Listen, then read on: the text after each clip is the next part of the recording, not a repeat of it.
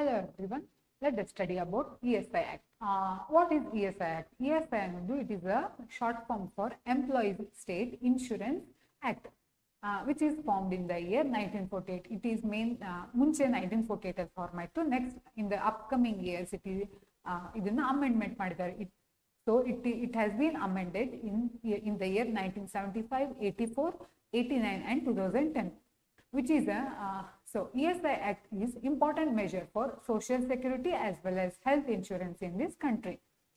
So it provides for certain cash and medical benefits to the industry industrial employees in case of sickness, maternity ಮತ್ತೆ employment injury.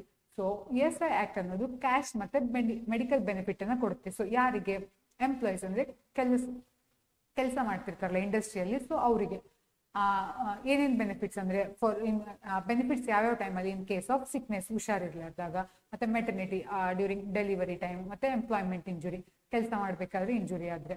So scope scope of the E S I act is E S I act extends to the whole of India all ಇಂಡಿಯಾದಲ್ಲಿ ಇದು ಆ್ಯಕ್ಟನ್ನು extend ಮಾಡಲಾಗಿದೆ.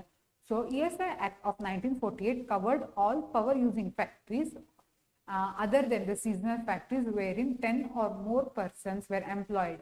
So, which ex- exclu- excluding mines, railways, and defense establishments. So ಇದು initially nineteen forty eight ಅಲ್ಲಿ form ಮಾಡಿದಾಗ it covered power using factories ಅಂದರೆ ಎಲ್ಲಿ electricity use ಮಾಡಿ ವರ್ಕ್ ಮಾಡುವಂಥ ಫ್ಯಾಕ್ಟ್ರೀಸ್ ಇರುತ್ತೆ ಮತ್ತೆ ಟೆನ್ ಪರ್ಸನ್ಸ್ಗಿಂತ ಜಾಸ್ತಿ ವರ್ಕರ್ಸ್ ಇದ್ರೆ so the the this E tie E S I act should be up would have been applied